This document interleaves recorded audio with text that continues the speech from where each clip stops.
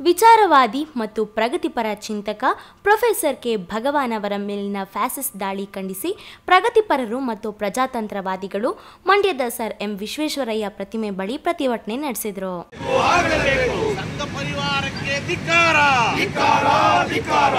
ಪರಿವಾರದ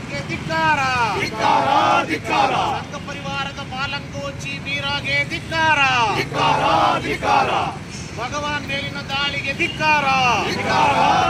ಫ್ಯಾಸಿಸ್ಟ್ ವಾದಿ ರಾಜ್ಯ ಹಾಗೂ ಕೇಂದ್ರ ಬಿಜೆಪಿ ಸರ್ಕಾರದ ಮೇಲೆ ಹರಿಹಾಯ್ದು ಪ್ರಗತಿಪರರು ವಿಚಾರವಾದಿ ಭಗವಾನ್ ಅವರಿಗೆ ನ್ಯಾಯಾಲಯದ ಅಂಗಳದಲ್ಲಿ ಮಸಿ ಬಳದಿರುವ ಮೀರಾ ಎಂಬಾಕೆಯನ್ನ ವಕೀಲಿಗಿರಿಯಿಂದ ಬಾರ್ ಕೌನ್ಸಿಲ್ ಕೂಡಲೇ ರದ್ದುಗೊಳಿಸಬೇಕು ಎಂದು ಆಗ್ರಹಿಸಿದರು. ಈ ಸಂದರ್ಭದಲ್ಲಿ ಮಾತನಾಡಿದ ಕೃಷಿ ಕೂಲಿಕಾರರ ಸಂಘದ ಪುಟ್ಟಮಾದು, ಕಳೆದ ಮೂರ್ನಾಲ್ಕು ವರ್ಷಗಳಿಂದ ದೇಶದಲ್ಲಿ ಫ್ಯಾಸಿಸ್ಟ್ ದಾಳಿಗಳು ಮಿತಿಮೀರಿವೆ.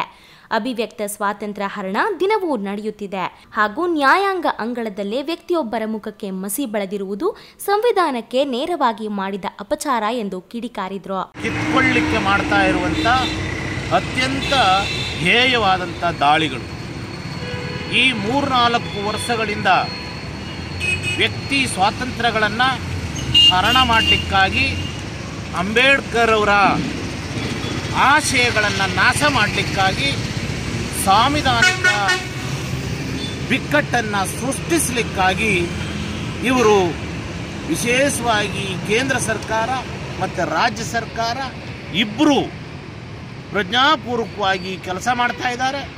ಅದರಲ್ಲೂ ನ್ಯಾಯಾಂಗ ವ್ಯವಸ್ಥೆಯನ್ನು ನಂಬಿರುವಂಥ ಈ ದೇಶದಲ್ಲಿ ನ್ಯಾಯಾಂಗದ ಆವರಣದಲ್ಲಿ ಭಗವಾನ್ರವರ ಮೇಲೆ ದಾಳಿ ಮಾಡ್ತಾರೆ ಅಂತ ಹೇಳಿದ್ರೆ ಅದು ಒಬ್ಬ ವಕೀಲರಾಗಿ ಅದನ್ನು ದಾಳಿ ಮಾಡ್ತಾರೆ ಅಂದರೆ ಅವರು ನ್ಯಾಯಾಂಗ ಸಂವಿಧಾನಕ್ಕೆ ಮಾಡಿದಂಥ ಅಪಚಾರ.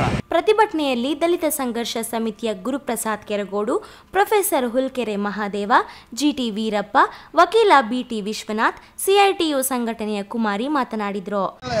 ಅವಳನ್ನ ವಜಾ ಮಾಡಬೇಕು ವಕೀಲ ವೃತ್ತಿಯಿಂದ ವಜಾ ಮಾಡಬೇಕು ಅಂತ ಹೇಳೋದ್ರ ಮುಖಾಂತರ ನಾವು ಇವತ್ತು ಏನು ನೆನ್ನೆ ನಡೆದಿರ್ತಕ್ಕಂಥ ಈ ಕೃತ್ಯಕ್ಕೆ ನಾವು ಖಂಡಿಸ್ತೇವೆ. ನಾವು ಈ ಹೋರಾಟದಲ್ಲಿ ಏನು ಈ ಪ್ರಗತಿಪರ ನಾವು ಚಿಂತಕರು ನಾವು ಏನಿದ್ದೀವಿ, ನಾವು ಈ ಹೋರಾಟವನ್ನು ಮುಂದುವರ್ಸ್ಕೊಂಡು ಹೋಗ್ತೀವಿ. ಈ ಥರ ಆಗಲಿಕ್ಕೆ ಏನು ಕುಂಭ ಕೊಡ್ತಾ ಇರ್ತಕ್ಕಂಥ ಈ ಬಿ ಜೆ ಪಿ ಸರ್ಕಾರ ಕೇಂದ್ರದಲ್ಲಾಗ್ಬೋದು, ರಾಜ್ಯದಲ್ಲಾಗ್ಬೋದು ಇಡೀ ಈ ಸರ್ಕಾರ ಬಂದ ಮೇಲೆ ಇಡೀ ಸಮಾಜದಲ್ಲಿ ಎಲ್ಲ ಥರದ ಅನ್ಯಾಯಗಳು ನಡೀತಾ ಇದ್ದಾವೆ. ಅದಕ್ಕೆ ಕುಮ್ಮಕ್ಕನ್ನು ಕೊಡ್ತಾ ಇದ್ದಾರೆ. ಇಂಥ ವಿಚಾರಗಳಿಗೆ ನಾವು ಖಂಡಿಸ್ತೇವೆ. ಕೆ ಎಸ್ ಭಗವಾನ್ ಅವರ ವಿರುದ್ಧ ಏನು ಹಲ್ಲೆಯಾಗಿದೆ ಈ ಘಟನೆಯ ಕೆಲ ದಿನಗಳ ಹಿಂದೆ ಮಂಡ್ಯದ ಪೊಲೀಸ್ ಸ್ಟೇಷನ್ನಲ್ಲಿ ಹಂಪ ನಾಗರಾಜಯ್ಯವರನ್ನು ಯಾವುದೋ ಒಂದು ಕ್ಷುಲ್ಲಕವಾದ ದೂರಿಗೆ ಕರೆಸಿ ಅವರನ್ನು ಹಿರಿಯರು ಮತ್ತು ಹಿರಿಯ ಸಾಹಿತಿಗಳು ಮತ್ತು ನಾಡಿನ ಸಂಪತ್ತಾದಂಥ ಹಂಪ ನಾಗರಾಜಯ್ಯ ಅವರನ್ನು ಕರೆಸಿ ಅಪಮಾನ ಮಾಡಿದರು.